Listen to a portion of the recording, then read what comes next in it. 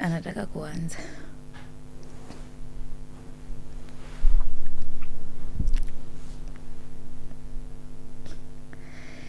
Mbona sisikii?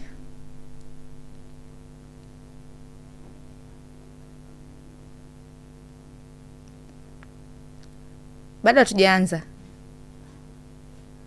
Haya, utanionyeshea.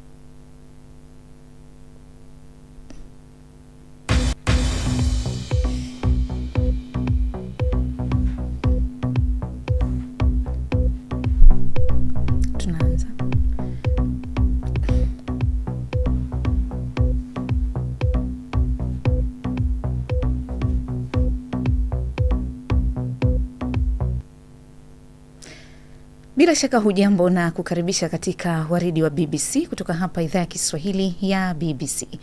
Na leo kama kawaida tunaangazia masuala ya wanawake na mabinti kutoka katika ukanda wetu wa Afrika Mashariki. Mimi ni Martha Saranga, karibu sana. Leo tuna mgeni binti Mtanzania Diana Po Chando mwenye umri wa miaka ishirini na saba. Yeye anasema ni mwanasheria mbobezi wa masuala yanayohusu sera. Anapenda kugusa maisha ya watu kupitia uongozi. Kwa namna gani? Utamsikia yeye mwenyewe. Kwa sasa ni balozi wa vijana katika Umoja wa Afrika AU. Alifikaje huko? Ni moja kati ya mambo ambayo tutasikia katika simulizi yake. Niko naye hapa studioni Diana Pochando kutoka Dar es Salaam, Tanzania. Unaweza kufuatilia waridi wa BBC kupitia ukurasa wetu wa Facebook BBC Swahili, vilevile vile katika YouTube BBC Swahili na Instagram BBC Swahili. Karibu sana Diana, na una mambo mengi sana. Mtu mmoja alikuona hapo nje tu kabla tujaingia hapa studioni, akaniambia huyu dada aliwahi kutrendi sana Twitter X. Ilikuwaje? Mimi sikukuona, lakini katika kupitia uh, taarifa zako katika mitandao ya kijamii ni moja kati ya vitu ambavyo nimeona watu wanakufuatilia sana. Ilikuwaje ukajulikana uka sana kwenye mitandao ya kijamii hasa huko X? Uh, ilikuwa kipindi cha uchaguzi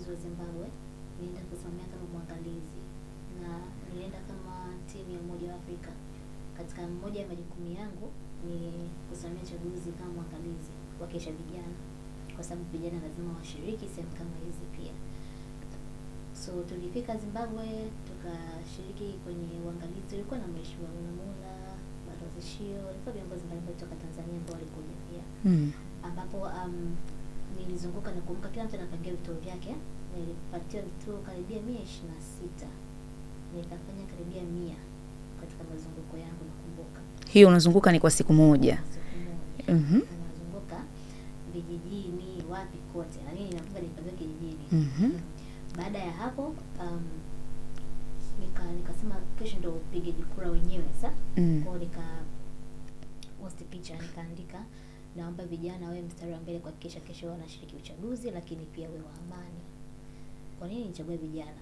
Kwa sababu kwanza jukumu langu ni kuhamasisha vijana katika masuala ya amani, lakini pia barani Afrika vijana tunaongoza kwa namba nyingi katika sensa. Mm -hmm. Kwa hiyo niliwaita wao mstari wa mbele, kwa sababu naamini ndo wanaweza kusema katika silaha kubwa ku maintain amani katika chaguzi, na ile picha ndio iliyosababisha sasa mimi kupata mlolongo wa mambo yote. Kwani picha ilikuwaje? Ulikuwa umevaa nini? Nilivaa tu uniform ya Sasa la ilikuwa lilikuwa nini? Sijui hata ilikuwa ni shida gani kwa kweli, na nakumbuka nilikuwa nimechoka haswa. Mm -hmm. Nilipiga kwenye mlango tu wa gari and nikapost basi. Kipindi hiko mitandao ilikuwa imekuwa slow kidogo mm, sababu I think uchaguzi, usalama, kitu kama hicho. Mm. Kwa hata ni usikujua kama imeleta impact kubwa hey. ndani ya nchi. Yes.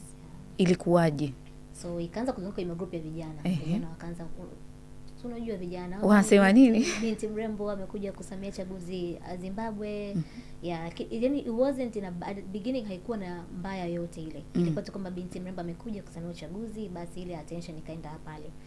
Na sikujua kama imefika mbali hivyo mpaka siku ya pili ambayo ndo nakumbuka nilikuwa naenda chini kula ndo nilikuwa kwenye elevator mtu akaniambia wewe ndo unajulikana hapa Zimbabwe sana sasa hivi unajua? Nikamwambia no. Akaniambia you all over mitandao ya jamii na magroup ya WhatsApp. And then kwenda kutoka hivi sasa unajua ukisha trend mitandaoni waandishi wa habari wanataka kuja kukusikia. Lakini katika sheria ya kusamia na kuangalia chaguzi Hey. anayeruhusiwa kuongea ni mheshimiwa rais ambaye anaongoza ile delegation tu. Mhm. kwao au memba akaniambia no, no, rudi chumbani kwako. Media team imeshaita attention pale restaurant na vijana wengine wamekuja pale kukuona. Kwao nikarudi chumbani. Bila shaka Diana, tutarudi hapo ili tu, tu, tu, tufahamu eh, zaidi. Pengine ili ili kuathiri vipi na ulikabiliana nayo vipi hayo yaliyojitokeza baada ya wewe kuchapisha uh, katika mtandao wako wa kijamii picha yako. Ukitoa ujumbe mwingine kabisa ukihamasisha mambo ya amani na uchaguzi, lakini ikapokelewa eh, kwa namna hiyo. Watu wanafurahishwa na mwonekano wako, ni mzuri. Ah, tawe mzuri pia Sasa bila shaka tutapenda kufahamu ulifikaje huku kwenye haya mambo ya uongozi. Ndio wewe umesomea sheria, lakini hii hamasa umeitoa wapi? Ulianzia wapi ukafika huku? Uh, nime- nimeanzia tokea nikiwa mdogo unajua kukua kwenye familia ambayo unamwona mzazi pia anatumikia nafasi ndani ya serikali ambayo ni ya uongozi na kupa ile hamasa kujifunza vitu vingi lakini pia hata baba yangu tokea niko mdogo mno alikuwa anapenda kuniambia kila asubuhi soma gazeti. Yaani lazima usome gazeti kabla na, nilikuwa karibu naye sana sababu ishafariki kwa hiyo tulikuwa tukiangaa tv anapenda kuangalia habari ananiambia he unataka kuwa kama yule dada pale? Kipindi kilikuwa ni Condoleezza Rice lazima ujue kusoma gazeti. Read the magazine every day morning ujue nini kinaendelea. Japokuwa sielewi lakini tu ile nikipata ile tu nimesoma Mm. anafurahi. Kwa hiyo ikani build ile ina character ya kujua kutaka kujua maendeleo ya jamii kuanzia mdogo baba alivyofariki nikalelewa na mama. Mama naye ni mtu ambaye ana discipline sana. Na ni mtu ambaye anasemaga kila siku mimi na yani elimu ndio msingi mkubwa katika kufika mbali katika ambayo naweza nikawaachia. Kwa hiyo nakumbuka siku nimekaa na mama mezani nilivyokuwa nimetoka shule kuvolunteer mambo ya yuna hapa na pale olevo nikaenda ilevo and then nikamwambia mama mimi nataka nije kuwa balozi. Akasema ah Mungu tulikuwa tunakuja akasema wewe. Balozi mpaka ufike miaka 60 50 huko. Ni mbali sana. Unataka kuja kuwa nani? Lazima uwe na kazi ambayo yani uwe na goo nyingine. So baada ya pale nikaenda chuo nivyoenda chuo uingereza nilikuwa nasoma nakumbuka ndo nikapata kupresent. Kuna mtu ambaye atakiwa present mbele ya balozi kutoka umoja wa, wa mataifa kutoka geneva hakuja. Kwa hiyo mimi nikapresent behalf ya huyo mtu yule balozi alipenda presentation yangu. Ulikuwa unazungumzia nini? tulikuwa tunaongezea mazungumzia masuala kwa masuala ya diplomasia na youth impact. Yaani mchango wa vijana kwa masuala ya diplomasia. Na sheria mchanganyiko wake. Kwa hiyo it was just a very short interview. Nakumbuka tu aliniuliza what are your aspirations? Nikamwambia I aspire to be a diplomat. Akasema okay what do you do? Nikamwambia nafanya degree ya sheria na international relations. Mm. akasema how do you manage degree zote hizo course mbili pamoja? Mhm. Basi nikamwambia ni malengo. Nadhani ni malengo kwa sababu ninaamini diplomat mzuri au kiongozi mzuri ni ambaye anajua sheria. Akasema excellent okay na nitumie cv yako. I think utafit kwenye mafunzo ya peace and security geneva. Mm -hmm. nikasema sawa. Nakumbuka nilimtumia akaja kunijibu baada ya miezi miwili. Nilikuwa sahau. Aha. ya ndo nikawaambia chuo. Akasema yeah why don't you go? Ukaenda. mafunzo ndio. Kwa miezi? Ilikuwa kama miezi minne Miezi mitatu na kitu yes. Mm -hmm. baada ya hapo? Baada ya hapo nikarudi niliporudi huko nika nikawa sasa active member wale kani connect na UNA ya London. Kwa nikawa active member wa UNA ya London. Ndo nikapata fursa ya kufika bunge la Uingereza kushiriki mikutano ya Bill Melinda Gates Foundation na kuvolunteer sehemu mbalimbali. Lakini yote ilikuwa ni unpaid nilikuwa ni volunteering hii ya kujitolea kwako umeona imekupa fursa kiasi gani? ah imenifungulia milango mingi sana. Kwa sababu mi CV yangu ninavyoomba nafasi ya kuwa balozi mmoja wa Afrika purely ni volunteering CV Mm -hmm. haina professional experience kabisa. So imenifungulia milango kwa sababu amshote wenyewe walivyonifanya waniite nilikuwa sina masters nakuwa nataka masters. Lakini walivyoona kwamba ni binti ambaye amevolunteer vitu vingi sana na kuweza kuongea sehemu mbalimbali kama kushiriki mambo ya commonwealth wakaona she's a fit candidate. Kwa volunteering imenisaidia sana kwa sababu ukiwa mwanafunzi how, what else can you have as a professional experience yeah. Sasa Diana, nimeona katika mitandao yako ya kijamii na pia katika mambo mengi umekuwa ukihimiza sana serikali za Afrika Mashariki kuwa na mshauri wa rais kuhusu mambo ya vijana. Ndiyo. Uliona nini hata ukaona uh, hiyo ni nafasi muhimu sana kwenye nchi? ndio nimeona ni muhimu kwanza kwa sababu um, sio kwa tanzania tu Mm. ukiongelea tukiweza kuongelea kwa engo ya tanzania wengi ni vijana na maamuzi yote yanayofanyika katika sera au meza za maamuzi za serikalini yanashika vijana asilimia kubwa sana kwa sababu ndio population kubwa. Na nikaona mheshimiwa rais wetu wa tanzania mama samia suluhu hassan ana mshauri masuala ya climate change sasa hivi ana uchumi sheria wanawake. Nikaona why not vijana kwa sababu kama kama ni namba kubwa tunaoongoza ndani ya nchi mm. i think tunahitaji pia kuwa na mshauri ambaye atakuwa anafikisha matakwa yetu kwenye meza yake. Kwamba vijana tunapitia changamoto gani tunapendekeza nini. Ili kuweza yeye atakuwa kama daraja kati ya ofisi ya mheshimiwa rais na vijana. Kwao nilivyokuja kuona hivyo nikasema nadhani nafasi muhimu sana kuwepo nayo ndani ya tanzania. Yes ndio maana nikaandika ile article. Walengwa ambao ni viongozi sasa, unaona wanakuelewa na mawazo haya yanapokelewa.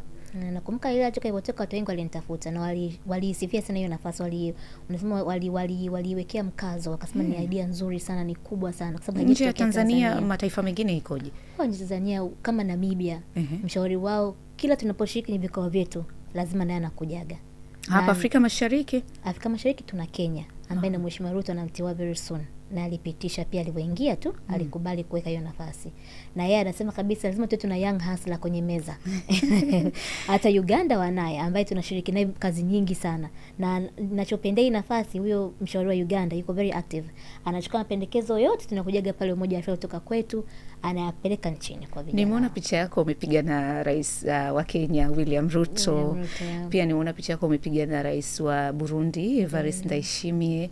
Kwanza hii na rais William Ruto mlikuwa mkizungumza nini pale?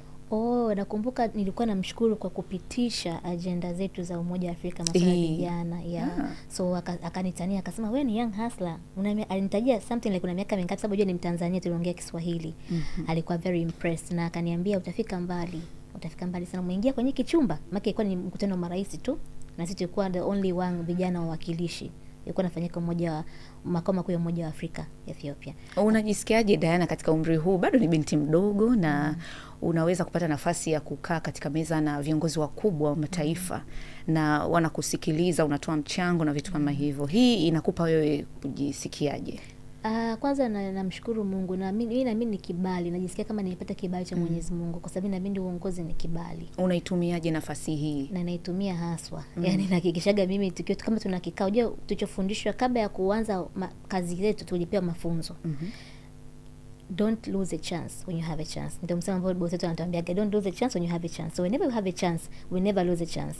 Kwa hiyo waga naitumia na kisha kwamba any platform that I get na mheshimiwa rais yoyote hapa Afrika mm-hmm. lazima nichumekeze masuala ya vijana either peace and security, kama ni mafunzo ya vijana yafanyike nchini kwake, je, ndani kwa sababu nakuwa napitia background ya nchi yao nafanyaje. Je, vijana wanasikilizwa, wana changamoto gani? Kwa hiyo nikienda kuongea nao pale, najua tena kuongea kitu gani, na mara nyingi nasisitiza sana kwenye mafunzo kwa vijana na kuwa include vijana kwenye meza za maamuzi, ushiriki wao kwenye masuala ya kugombea kama viti vya uongozi kwenye siasa na sehemu mbalimbali kwenye mashirika. Yes.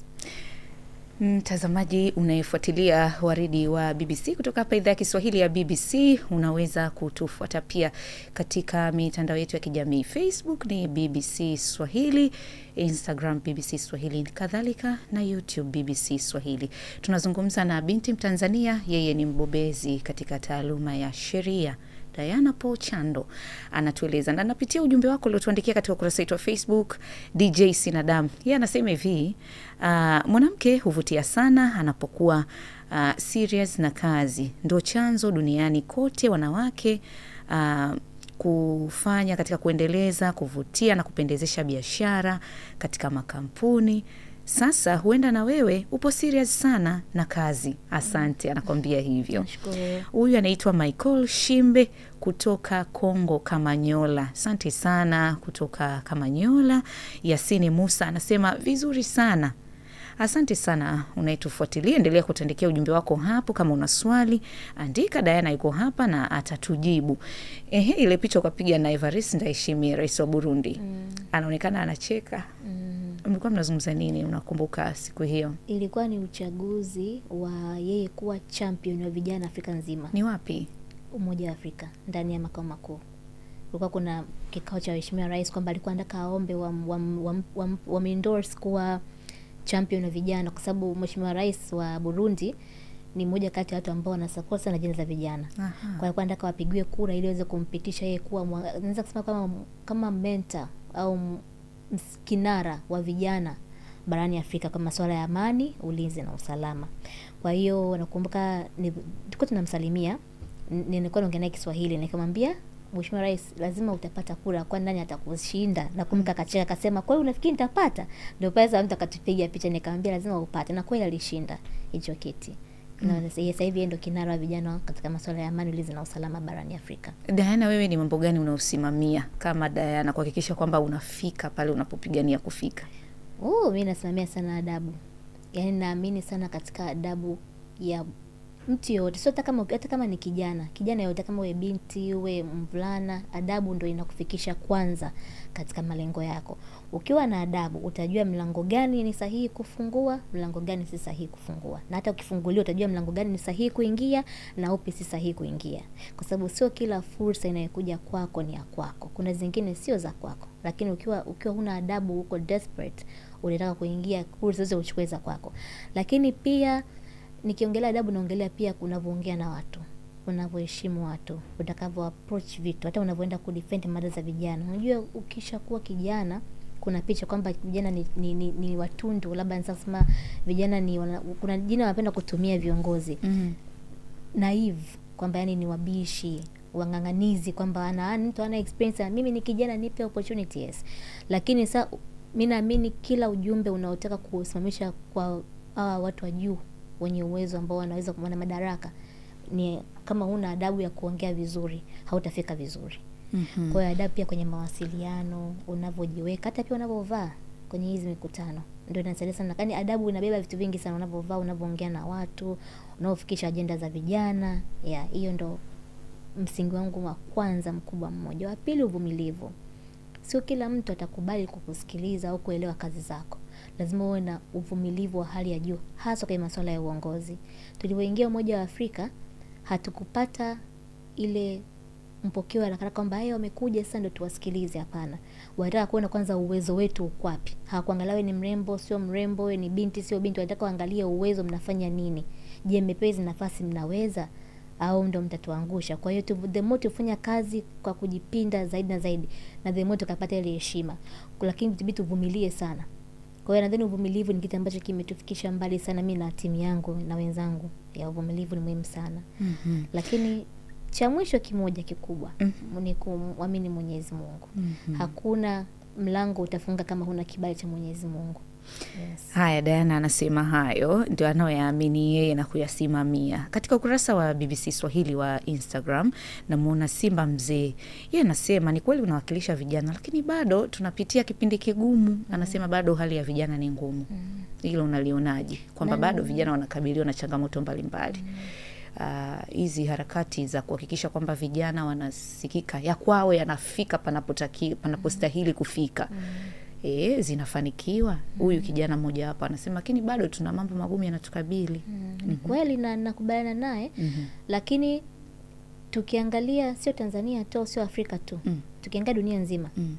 namba ya watu imeongezeka na namba ya watu kuongezeka ina impact yake. Impact yake ni nini? Ni ajira inakuwa inakuwa ngumu, kwa sababu serikali zote za haziwezi kuajiri kila kijana.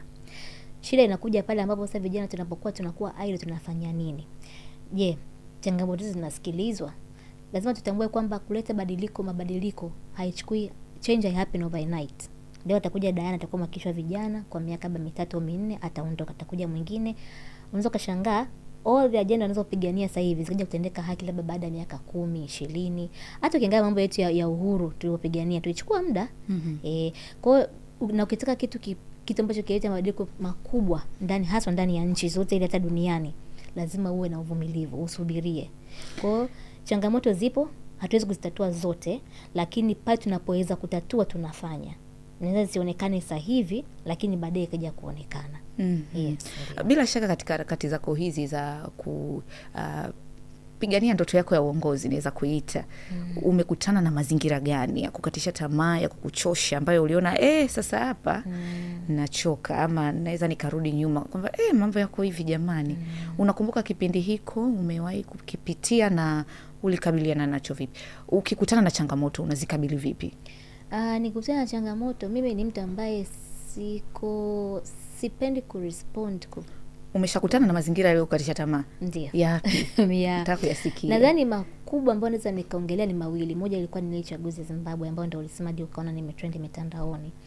Nadhani ile ilikuwa ni a lot kutake in at a young age binti mdogo ambaye um- umejikuta tu mitandaoni uko all over the place alafu watu wanakuattack kutokana na matokeo ambayo wewe ushiriki chochote ulikuwa tu ni mwangalizi. Lakini sasa wamekutengeneza wamekutumia kama ilikuwaje watu wakakushambulia hapo? Kwa sababu um, nakumbuka ukurasa wa msemaji wa serikali alitumia ile picha kushukuru waangalizi wa, wa, wa, wa, eh, umoja wa afrika mm. yes. Sasa watu waka, wakajua "Ha, kwa nini picha yake ah, ndio kwa ametumika na ametumika kusimamia kuhakikisha uchaguzi waba chama cha, cha, chama, chama chao kinaongoza kwenye matukio. Yaani wali, waliweka picha tofauti. Mm. kwa akamtumia kama fimbo kuchapia watu walioshinda. Nadhani hiyo ilikuwa ni changamoto kubwa sana kwangu kwa sababu najua hamna kitu kibaya kama kusoma comment ambayo ina criticism ambayo sio ya kweli. Ina lazima binadamu ujisikie vibaya. Lakini japokuwa ndio unasema ni kama uongozi ni kama hii glasi. Unasema hii glasi ni ya kwako umepewa. Sasa ndio uiangalie kisha inakuwa imara inakaa vizuri haivunjiki lakini hata kama inapigwa na mawe mengi wewe uisimamie tu ndio kama uongozi kwa hiyo ilikuwa haikuwa rahisi ilinisumbua sana. Uli, yani ulivuka vipi hicho kipindi Ooh. mlitoka zimbabwe mkarudi Ehe. nakumbuka so baada ya kutokea vile um, nili watu wa karibu walikutafuta ama hata e, uangalizi wenzio viongozi wengine kuna namna yoyote walitaka kujua hiki kimefanyika kimekuwa vipi mm. kwako na watu wengi walinitafuta. Mm. wengi sana na nakumbuka moja rafiki walitaka wanipe labda psychiatrist. Kwa sababu walikuwa concerned. Unajua kuona binti anakuwa attacked mitandaoni vile mpaka my account ilikuwa inaganda sasa. Notifications zimeganda was a lot. Kwa hiyo um, walinitafuta vitu wat- wataka wanipe. Nikamwambia no I'm gonna be okay. I just need time. I think labda baada ya wiki mbili itapita. Lakini mwezi imefika bado inaendelea um, bado magazetini wanaandika mitandaoni website. Na sababu kigogo jina langu inatokea all about uchaguzi wa zimbabwe. Mm -hmm. so um, ilichukua muda kidogo lakini baadaye nikaja nikaichukulia positive kwa sababu mwisho wa siku i did my work and i did nakumbuka bosonga inaambia you did an excellent work. Kuzunguka vituo mia kuandika report vizuri na kudeliver the work its what matters. Hizi nyingine ni kelele tu za nje ambazo zinatokana na chaguzi na akaniambia ni vizuri na experience ukiwa mdogo so unajua siasa ya afrika ikoje? Mm. nje ya tanzania inaendaje huko kwingine? Yes, yes. katika kupitia changamoto hii ulijifunza nini? Nijifunza kwamba kwanza tunapenda tuna, tunapenda sana kuwataki viongozi mitandaoni. Lakini nimekuja kujua kwamba hawa ni binadamu. Na wenyewe wanahisia so I can imagine waheshimiwa rais wanapopitia wale wanapokuwa watatu wanajisikiaje lakini pengine kajifunza mitandao ina nguvu sana. Mitandao inaweza ikakuharibia siku yako ikakuharibia hata ratiba yako. Kwa hiyo lakini kingine nikajifunza tusiruhusu au usije ukaruhusu kelele za nje zikakuharibu wewe hata kisaikolojia. Yani no matter what you have to be very strong in your emotions. Usipokuwa na em, emotional intelligence unaweza ukachukua simu au ukaandika sababu, ukaanza kujibu watu twitter au ukaanza kujibu. Kwa sababu kwamba wale wanaandika pale wenyewe haidhuru lakini wewe ni kiongozi unakisha vijana utakachoandika pale kinaacha alama kwa sababu utakachokiongelea kinawakilisha shirika unaloliwakilisha kwa hiyo nikajifunza pia emotional intelligence ni very important hasa kwenye uongozi mm-hmm. Yeah. unaona namna unavyotumia mitandao ya kijamii ama namna mitandao ya kijamii inavyotumika mm. uh, unapokuwa umeweka kazi ama ujumbe fulani ambao uko tu mzuri chanya kwa jamii na ukaweka picha zako mm. unaona watu wakizingatia kazi na ujumbe unakuwa umeuweka mm. uh, dhidi ya mwonekano wako ama huwa inakuwaje? Yani umejifunza nini juu ya hivyo vitu? Uh, sometimes unajua nimegundua kwamba sometimes people wanakuwa na focus more on being a woman with labda macho urembo rather ni kusoma ulichokiandika. Kwamba watu wanafikiri kwamba uko pale kwa sababu ya urembo Yes. unapata hizi nafasi kwa sababu yeah, ya urembo wako na nini. Hiyo unachukuliaje? which is very sad. Unajua mtu anaweza bila kukujua wewe labda una, una wadhifa gani anaangalia kwanza hu- huyu atakuwa kwa sababu ni mrembo ndio maana labda anakutana na mheshimiwa rais au na mheshimiwa mawaziri. Lakini wanasahau kwamba ukiangalia huyu binti namesoma na amesoma sheria amesoma international relations anafanya masters ana experience amevolunteer amejitoa um, anaongea lugha mbalimbali and all that CV wanaweka pembeni wanaangalia urembo. Of course mtu ujisikie vibaya. Um, ndio maana mimi mara nyingi I never sijibugi comments ambazo zina move urembo. Hata ukipitia kwenye akaunti yangu zote picha zangu naandika tu thank you all kwa sababu i feel like i don't want naspendagi jamii nitambulishe kutokana na urembo lakini kutokana na akili yangu ndio maana ukiangalia instagram yangu nimeposti kazi zangu tu sijaposti sijui kitu kingine apart from that. Why? Because nat nataka nitumie jina langu kutambulisha kazi zangu. Umekutana na wanawake wengi ambao ni viongozi wakubwa na utamwambia pia msikilizaji na mfuatiliaji kwa faida yake. Mm. umekutana na viongozi wengi ikiwemo Joyce Banda ulinitajia. Mm. unajifunza nini kwao? Unaona sifa ya namna hiyo kwao? Mm. Aa, ni wanawake wa namna gani katika ambao tayari wako kwenye nafasi za uongozi najua umeshakutana nao wa tanzania mm. lakini hata nje ya pale mm. umekupa kwenye majukwaa kama sadik kama umoja wa afrika mm. uh, unakutana na waangalizi watu kutoka maeneo mbalimbali hapa mm. afrika mm. unajifunza nini kwao kuhusiana na uwezo wao katika masuala ya uongozi mm. kuna namna yote unaona kuna kubebwa kutokana na huyu ni mwanamke mm. ama uzuri urembo mwonekano Mm, hapana nakumbuka Joyce Banda nilivyoongea naye alisema Diana lazima uwe mkomavu. Mimi mpaka nimekuja kushika kiti cha urais nilipitia mambo mengi sana. Na ni mwanamke mzuri sana. Mrembo kweli. Hata sasa hivi ni mtu mzima lakini ni mrembo haswa. Hata wengine kina anatete na etc ni wanawake warembo sana lakini alisema lazima uwe mkomavu especially ukiwa binti. Ila alisema usiruhusu mtu anavyokuchukulia ikuchukulia yani wewe na wewe ujichukulie kama anavyochukulia mtu mwingine. Wewe unajua wewe ni nani na unataka nini na kingine ambacho alinifundisha aliniambia pia elimu yako ni muhimu sana katika CV yako kwenye kufika mbali kama kiongozi kijana hasa ukiwa binti. Ainaambia kuhusu umuhimu wa elimu na kuka mwingine anaitwa Anatete ainaambia Diana lazima ujue unapata kufika. Na ukishajua unapata kufika jua kitu gani kitakufanya ufike pale. Hiyo imetosha. Then fata hiyo njia. Basi hii vingine viweke pembeni Patrick Barasa katika ukurasa wetu wa Facebook anasema uh, Ruto ni rais wetu hapa Kenya, lakini bado pia vijana Kenya tunapitia changamoto nyingi. mm. Mm-hmm. Vijana wengi wanasema ni kweli, bado vijana wanapitia changamoto nyingi. Mm. Kwa hiyo ukiwa kama balozi wao, ni mambo ya ambayo mnahitaji bado kuendelea kuyaangalia namna gani yanapewa uzito na mm. wanaopaswa kufanya hivyo. yeah. Ehe, sawa. Sasa nilitamani pia kufahamu kuhusu uh, umenieleza kuhusu Rais Evariste Ndayishimiye Mm.